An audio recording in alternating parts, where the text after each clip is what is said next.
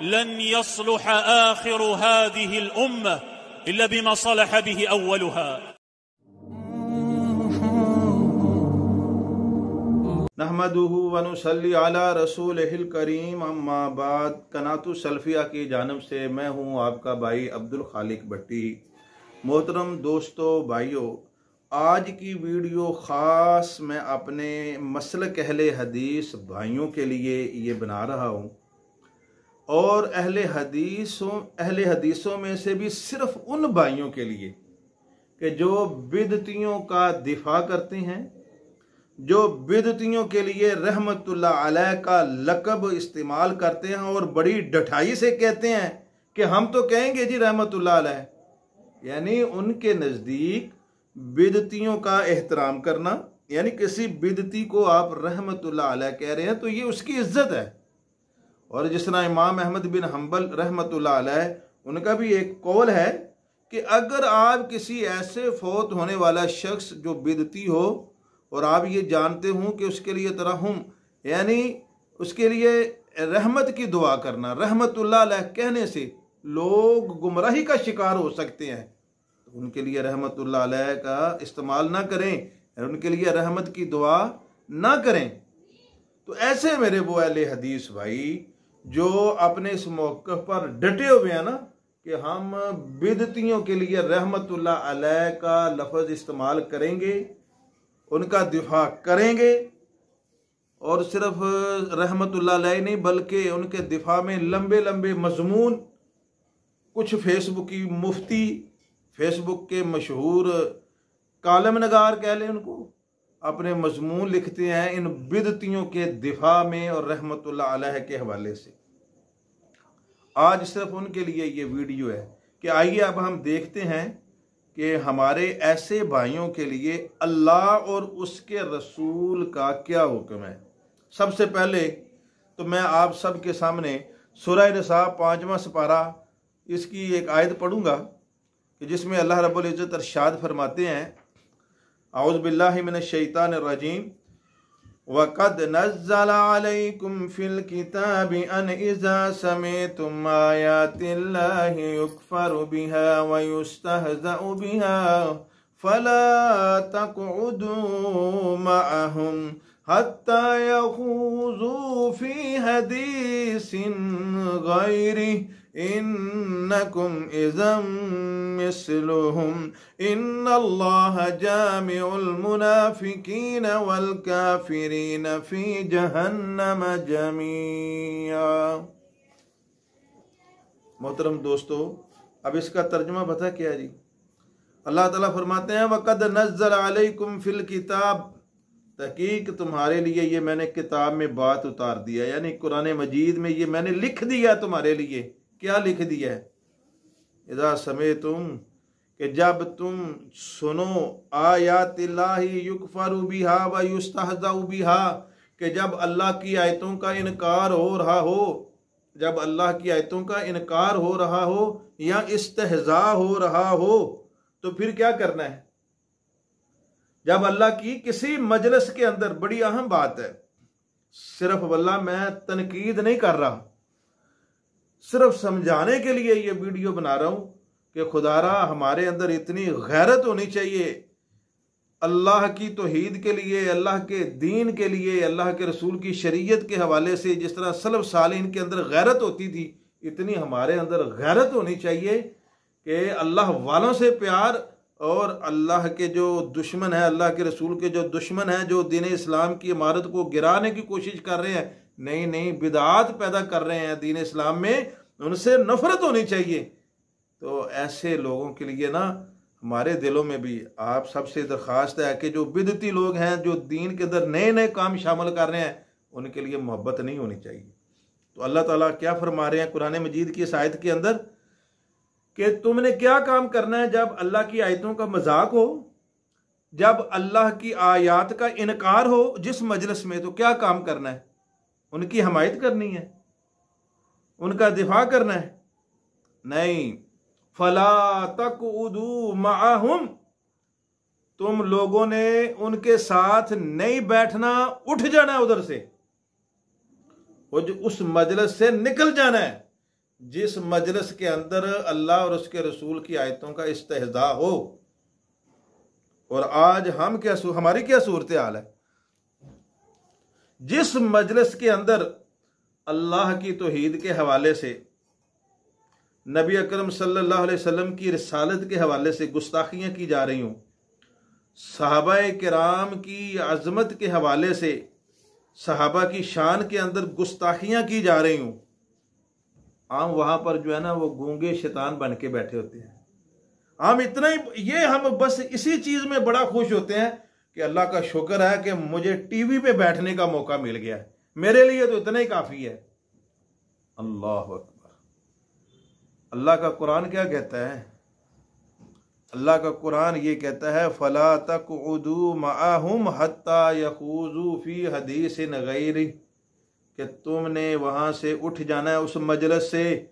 मजलस चाहे टीवी वालों ने बुलाई हो, मजलस चाहे सदर साहब की हो वज़ीर आज़म की हो मजलस चाहे बड़े किसी चौधरी वडेरे की हो, कोई भी मजलस हो, जिस मजलस में अल्लाह की तोहन हो, अल्लाह के रसूल की तोहन हो, सहाबा की तोहन हो, मज़ाक किया जा रहा हो, कुरान मजीद की आयात का इनकार किया जा रहा हो, उस मजलस का मुकातिया होना चाहिए, बाइकाट होना चाहिए कितनी देर तक?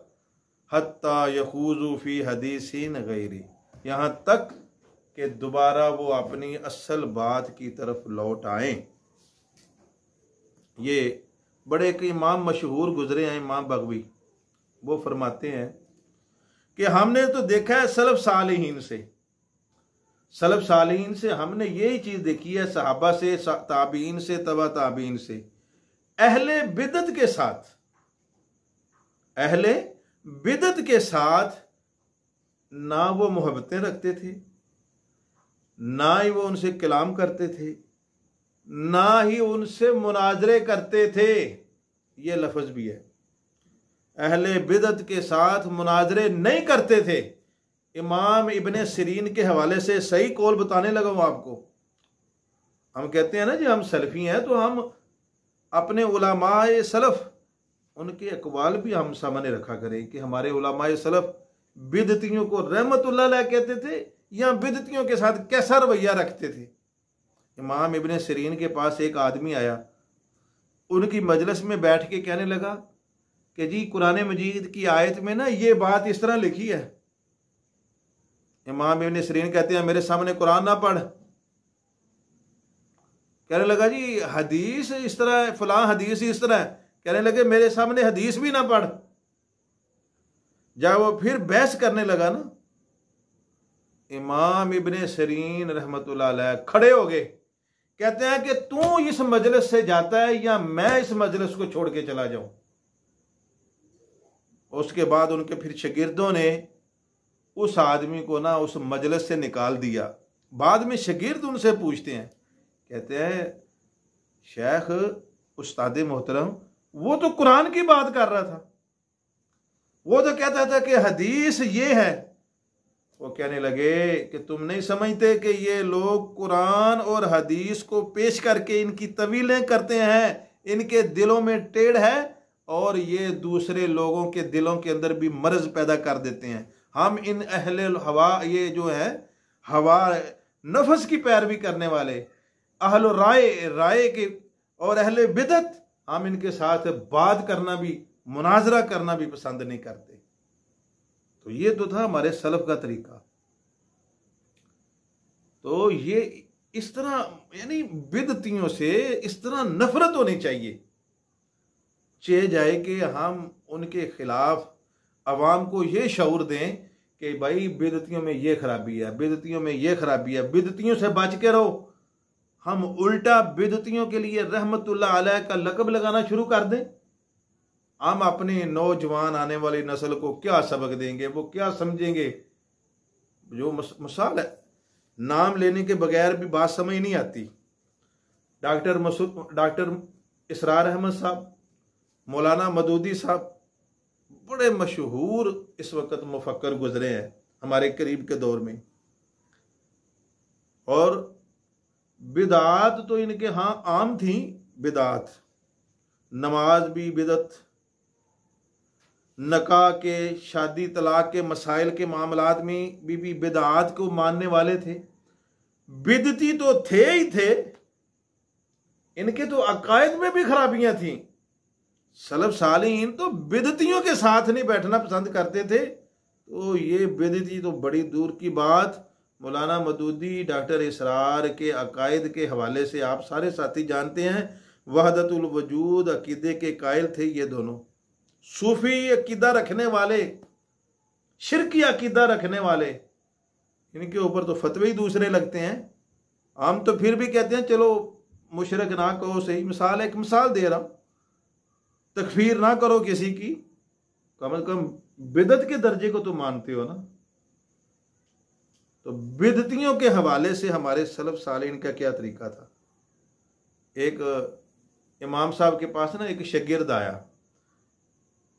तो उस शगिर्द के बारे में दूसरे शगिर्दों ने कहा कि जी, हज़रत साहब, ये जो है वो, ये अहले बिदत, ये बिदतियों की मजलिस में भी जाके बैठते हैं। इमाम साहब ने फरमाया, इसको उठा दो इधर से। आज हमारा क्या नज़रिया? हम कहते हैं, यार नहीं, चलो, कोई हमारे पास आ रहा है ना, हमारी मजलिस में, चलो, कुछ सीख के ही जाएगा ना। सलब सालिन का यह तरीका था कहते थे कि इसको बिदती के साथ जो जाके बैठता है ना इसको हमारी मजलिस से उठा दो। क्यों? कि इसने हक और बातल को बराबर कर दिया है। ये बिदतियों के पास भी जाता है, हमारे पास भी आता है। हम इसको ये बराबरी नहीं करने देंगे, या उधर, या इधर, या संग हो जा, या मोम हो जा। उन्होंने उसको मजलिस से उठा दिया ये थे हमारे असराफ। एक बुज़ुर्ग थे, उनके वक़्त के इमाम थे। उनके दौर में एक बिदती फौत हो गया, उसका नमाज़ जनाजा हुआ, बड़ा मशहूर जनाजा, बड़ी कसीर तादाद में लोग आए। तो इमाम साहब जो हैं, वो भी उनके जनाजे में गए। लोग बड़े हैरान हुए कि ये बिदती का जनाजा और ये इमाम साहब भी आ गए। इमाम साहब ने उधर जाके लोगों को कहा, भाई, मैं इसलिए आया हूँ ताकि आप लोगों को पता चले कि मैं इस बिदती की नमाज़ जनाजा नहीं पढ़ना चाहता। वहाँ पर जाके नमाज़ जनाजा ना पढ़ी अल ऐलान लोगों को बता के फिर वापस आए। आज इधर बड़े आराम से हम घरों में बैठ के उनके लिए दुआएँ कर रहे हैं। मगफरत की दुआएँ हो रही हैं बिदतियों के लिए, जो अल्लाह के रसूल के दीन को टुकड़े टुकड़े कर रहे हैं। जिन्होंने अपनी तकरीरों से, जिन्होंने अपनी तहरीरों से हज़ारों ने लाखों नौजवानों को, और कौन से नौजवान? हमारे मसल कहले हदीस के नौजवानों को अकायद ख़राब किए, उनके जहनी, उनकी सोचें, नज़रियात ख़राब किए जिनकी तहरीरों ने। और उनके लिए हम कहें जी, अल्लाह ताला जी उनकी बख्शिश फरमाए। रहमतुल्लाह मौलाना मदूदी साहब रहमतुल्लाह डॉक्टर इसरार साहब रहमतुल्लाह जिन्होंने बिदत का जो है वो इतना फ़रोग दिया हमारे माशरे में। कुरान और हदीस से हटकर और डॉक्टर इसरार साहब के हवाले से अक्सर कई वीडियो भी आई हैं। जिसमें वो कहते हैं अलान कि मैं फ़िका हनफी का मानने वाला हूँ। और अहले हदीस को उन्होंने कहा हुआ है कि ये बदतरीन फ़िरक है। तो हम फिर भी इतना वसी ज़रफ़ रखें। हम कहें कि जी, वो बहुत अच्छे और बहुत बड़े आलम दीन थे। बड़े लोगों को उन्होंने राय रास्ते पे लेके आए। जी, बड़ा कुरान का काम किया हमारे अहले हदीस उलामा ऐसे कहते हैं, हमारे अहले हदीस। अब मैं नाम नहीं लेना चाहता। उन्होंने अपने मदरसों के अंदर, अहले हदीसों ने अपने मदरसों के अंदर अलहुदा इंटरनेशनल जो इखवानियत के नज़रिए की कायल, मदूदी के मानने वालियाँ, ये दोनों बहनें डॉक्टर फरत आशमी और निगत आशमी, जिनके घर के अंदर मौलाना मदूदी का प्रिंटिंग प्रेस लगा रहा, जिनके वाले साहब सरगोदा के अमीर थे, जो उनके नज़रियात से मुतासर हैं उनकी बहनों के आज कौन सा मदरसा ऐसा खाली अहले हदीसों का? जिन्होंने अपनी औरतों के मदारस अपने मदरसों में नहीं खोले हुए? अलहुदा के। और उनके प्रोग्राम नहीं कराते? और उनका ये हाल है, उनका। हमारे कई एक दोस्तों ने ये जैनवन वाक्य आपको बता रहा हूँ कि जोहर की नमाज़ का वक़्त हुआ तो डॉक्टर फरत हाशमी की तरफ़ से भेजी गई तकरीर करने वाली जो आलमा थी उन्होंने कहा, हम जमात नहीं करवाएँगे। बुलाने वाली सारी अहले हदीस औरतें थी। उन्होंने पूछा, क्या वजह? कहने लगी, यहाँ पर बरेलवी भी आई हैं, देवबंदी भी आई हैं। तो जब हम फिर रफल दैन करेंगे ना तो लोग ये समझेंगे कि ये अहले हदीस हैं और हम ये शो नहीं कराना चाहते। क्यों? हम अहले हदीस है ही नहीं। यही वजह है ना फिर? तो खुदारा लोगों, समझो इस बात को। आज मैं नाम नहीं लूँगा उन उलामा का कि जिन्होंने अपने मदरसों के अंदर अलहुदा इंटरनेशनल के मदारस खोले हुए हैं। तबलीग किन की हो रही है? जमात इस्लामी की अंडरग्राउंड तबलीग हो रही है। जो लोग अहले हदीस कहलवाना पसंद नहीं करते, सरेआम जमात नहीं कराना पसंद करते कि लोग हमें कहीं अहले हदीस ना समझ लें तो अहले हदीस हो आपको क्या हो गया फिर? आप खाम खाई उनके वकील बने हुए हैं। तो बहरहाल जो एक ऐसा इतना बड़ा ग्रोह इखवानियत का डॉक्टर इसरार मदूदी, जिन्होंने हमारे हज़ारों नौजवान अपने लिटरेचर के ज़रिए, तकरीरों के ज़रिए गुमराह कर दिए हूँ, और हम उनके लिए रहमत का लकब इस्तेमाल करें। और हम ज़्यादा बात नहीं, मेरी बात ज़्यादा लंबी हो जाएगी। पहले तो मैंने कुरान मजीद की एक आयत पढ़ी ना कि इनकी मजलसों से बचा जाए। दूसरी मैं एक हदीस पढ़ने लगा हूँ। और हदीस पढ़ के मैं बात को ख़त्म करूँगा। ये हदीस सिर्फ़ उन लोगों के लिए है कि जो भाई इन बिदतियों को, मेरा इन बिदतियों से मुराद अल ऐलान मैं ये कह रहा हूँ कि ख़ास ना कोई इसमें अहल हदीस अपना, ना ये मेरा देवबंदी, मेरा इस मौजू से जो है वो मखसूस लोग देवबंदी भी नहीं है, बरेलवी भी नहीं है। मेरी इस गुफ्तु से मुराद सिर्फ़ और सिर्फ़ बिदतियों से मुराद डॉक्टर इसरार और मदूदी हैं। और ये दोनों शख्सियात ऐसी हैं जिनके ऊपर देवबंदियों के उलामा के भी फतवे हैं। कितनी अजीब बात है। आज अहले हदीस जिनका दिफा कर रहे हैं ना, देवबंदियों के उलामा का भी फतवे हैं कि मदूदी गुमराह इंसान था, डॉक्टर इसरार गुमराह इंसान था। मदूदी, अपना देवबंदियों के भी फतावा जात मौजूद हैं। लेकिन अहले हदीसों को पता नहीं क्या हो गया। कि इन बिदतियों के दिफा में मजमू लिखे जा रहे हैं रहमत के कहा जा रहा है। और अब हदीस सुन लें, जो शख्स बिदती को रहमत कहे उसका लकब क्या होना चाहिए? उसके ऊपर अल्लाह के रसूल का फतवा क्या है? ये अब हदीस सुन लें। बुखारी शरीफ की मैं हदीस पढ़ने लगा हूँ। ये किताबुल फ़राइज़ के अंदर है, बाब है कि ऐसा वो ग़ुलाम जो अपने मालों को छोड़ के दूसरे गुलाम अपने मालिक के साथ मवालात करे उसके अंदर ये हदीस है कि हज़रत अली रज़ी अल्लाह तु फरमाते हैं कि हमारे पास अल्लाह की किताब के सिवा और कोई किताब नहीं, सिवा इसके कि उन्होंने फिर उसने उन्होंने एक वर्का निकाला। हज़रत अली रज़ी अल्लाह उन्होंने एक वर्का निकाला। कहने लगे, ये हमारे पास एक वर्का है जिसको हम पढ़ा करते हैं। कहते हैं कि उसको उसको निकाल के देखा, इसमें तीन बातें लिखी हुई थी। जख्मियों के हकाम ऊँटों के नशा वगैरह। रावी ने कहा, इसमें यह लिखा हुआ था, मदीना तय मदीना तयबा ईद से लेकर सौर तक है। यानी अल्लाह के रसूल की ये एक हदीस है, आपने फरमाया कि जिस तरह बैतुल्ला हरम है ना, हरम, यानी उसका हदूद हरम एक ख़ास जो है, वो एक हल्का है। ताइफ से इतने किलोमीटर, मस्जिद आयशा से इतने किलोमीटर, जुलहलैफा से इतना तो ये जो एक हलका जैसे बैतुल्लाह का हरम का है, आपने फरमाया, मैं भी मदीना को, मस्जिद नबवी के इर्द गिर्द जो इलाका है, इसको हरम मुकर करता हूँ। इसमें भी वही अहकाम है जो बैतुल्लाह के हरमत वाले मामलात हैं। तो अल्लाह के रसूल ने फरमाया कि ईर पहाड़ से लेके सौर पहाड़ तक। और इसके आगे आपने फरमाया अब अगली बात सुनने वाली है भाई। जो बिदतियों को पना दे, जो बिदती का एहतराम करे, एहतराम से मराद रहमत के, जो बिदतियों का दिफा करे पना दे, अब सुने जरा फतवा क्या है? ये हदीस। ये तस्वीर में भी आप देख लेंगे।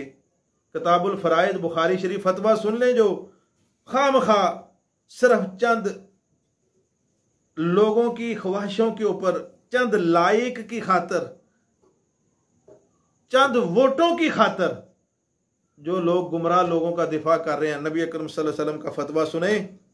नबी अकरम सल्लल्लाहु अलैहि वसल्लम ने फरमाया कि ईर और सोर तक ये पहाड़ जो हैं, इनके दरमियान मदीना हरम है। जो कोई नई बिदत निकाले, औ आ आवा मोहदिसन, औ आ आवा मोहदिसन जो कोई बिदती को पना दे फ़ालही लानतुल्लाह, उसके ऊपर अल्लाह की लानत हो, वल मलाइकती, फरिश्तों की लानत हो, वन नासी अजमाइन, सारे लोगों की लानत हो। ला युकबल मिनहू यौमल कियामती सरफ वलादल क्यामत वाले दिन ना इसका फ़र्ज़ कबूल होगा, ना इसकी नफल कबूल होगी। आगे दूसरी बात कि गुलाम जो है अगर वो दौड़ जाए दूसरे गुलाम के, अपने दूसरे मालिक के साथ मवाल, यानी सौदेबाजी करे, उसके ऊपर भी इसी तरह लानत। तीसरी बात ये कि जो कोई मुसलमान का जो अहद है, किसी मुसलमान को कोई पनाह देता है और उसकी कोई, वो उस पनाह को तोड़े, उसके ऊपर भी इसी तरह लानत फरिश्तों की, लोगों की लानत हो। तो ये भाई हदीस है।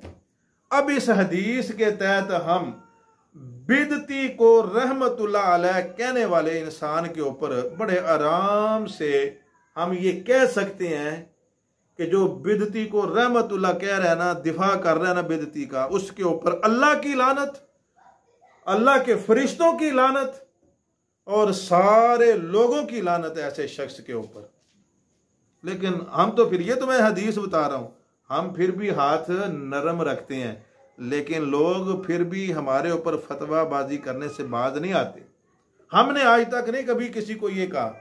यानी अगर कोई हमारा भाई किसी बिदती के दिफा में लंबे चौड़े मजमून भी लिखे और उनके दिफा के अंदर जनाब वो ऐलान ये कहे कि जी, हम तो उनको रहमत कहते हैं, लेकिन हमने कभी भी उनके ऊपर लानत तक नहीं की। हदीस के अंदर जो गो मौजूद है, हदीस के तहत आप उसको लानती कह सकते हैं सिर्फ़ इतनी लानत नहीं कि मेरी लानत हो। अल्लाह की लानत, अल्लाह के फरिश्तों की लानत, सारे लोगों की लानत, लेकिन हम नहीं करेंगे। हम फिर भी खामोश रहते हैं, लेकिन लोग लोग इतनी जबानें अपने उनकी ना बंदूक हो जाती हैं। गोलियाँ जैसे बंदूक से गोली निकलती है ना, लोगों की जबानें हमारे हवाले से इस तरह है। लोग जनाब फतवाबाजी शुरू कर देते हैं, और ये जो तकफीरी हैं, ये फलां हैं, ये फलां हैं और भाई कोई तकफीरी नहीं हम तो फिर भी खामोश रहते हैं, फतवाबाजी नहीं करते। लेकिन हमें सिर्फ़ अपने मसल की गैरत है मसल की हमायत है। हम ये कहते हैं कि खुदारा, अपने इन नौजवानों को बचा लो। अपने इस नई नस्ल को बचा लो कि जो फिक्री तौर पर अगवा हो रही है। जो आज अपने हीरो, ये यूथ क्लब ये ऐसे नहीं बन रही, ये यूथ क्लब वगैरह। ये यही वजह है कि अब उलमा ने जो काम करना था ना, जो इनके जिम्मे था, इन्होंने काम करना छोड़ दिया है। और ये नौजवान नस्ल जिन्होंने ज़्यादा काम किया है, उनकी तरफ़ ये रागब हो रहे हैं। हमारा काम ही नहीं है मुआशरे में। और अगर हो भी कैसे? जब हमारे ओलामा ये कहेंगे डॉक्टर साहब ने बहुत कमाल काम किया है। बड़े एक मशहूर पंजाब यूनिवर्सिटी के प्रोफेसर हैं। उनकी ऑनलाइन वीडियो मौजूद है। कहते हैं जी, जो डॉक्टर इसरार साहब ने काम कर दिया और किसी ने किया ही नहीं तो फिर अहले हदीस के नौजवान किधर जाएगा? हमारी मसाजिद के अंदर उलामाई वो बुलाए जा रहे हैं, जो आके दरसों के ऊपर आके बैठ के ये वाक्य बयान करते हैं। डॉक्टर इसरार साहब ने यूँ कहा, डॉक्टर इसरार साहब रहमत उन्होंने यूँ कहा, उन्होंने यूँ कहा। उनका आधा दरस ही डॉक्टर इसरार और मदूदी के ऊपर होता है। मस्जिद अहले हदीस की, स्टेज अहले हदीस का, अवाम अहले हदीस की और तरीफें जो हैं वो बिदती लोगों की। तो खुदारा, अपना मौकफ दुरुस्त करो, अपनी इस नौजवान नस्ल की तरबियत करो, इनको अकीदा तोहीद, उलमाए सलफ़ से जोड़ो। उलमाए सलफ़ तो ऐसे थे कि अपने हमारे एक मशहूर इमाम इमाम उज़ाई, उनके पास ना एक बिदती आ गया, बिदती। तो इमाम साहब ने कहा कि भाई, यहाँ से चले जाओ। और उसको मजलिस से निकाल दिया गया। उनके शिगिर्दों ने ना कि इसको निकाल दो। और उस, उन्होंने फिर एक साथ बात कही। उन्होंने कहा, मेरी बात सुनो, अगर एक मिसाल, एक नसरानी आ रहा हो, ईसाई मज़हब वाला आदमी आ रहा हो, एक बिदती आ रहा हो, मैं उस रास्ते का इंतखाब करूँगा जिस रास्ते में ईसाई जा रहा है। बिदती के साथ नहीं मैं चल सकता। आज बिदतियों के साथ अल्लाह माफरमाई चलना पूरी की पूरी नौजवान नस्ल गुमराह, अगवा कर लिया उन्होंने। और हम पीछे से जो है वो, हम तालियाँ लगा रहे हैं। हम बड़े खुश हैं जी। माशाल्लाह जी, ये क्लब बन गया, फलां यूथ क्लब बन गया, फलां फलां। हम खुश हैं। हमारे उलमाए सलफ तो जो है वो कहते हैं, हम एक तरफ़ ईसाई हो ईसाइयों के साथ चलेंगे बेदतियों के साथ नहीं चलेंगे। और आज बेदतियों के साथ जनाब, पूरे शद्दोमद के साथ जो है वो उनका तावन जारी है। अल्लाह रब्बुल इज़्ज़त से दुआ है भाई। अल्लाह रब्बुल इज़्ज़त हमें जो है वो सही कुरान और हदीस के मुताबिक फ़हम की तोफ़ी अता फ़रमाए। वाखिर दावाना अलहमदिल्ला रब्बिल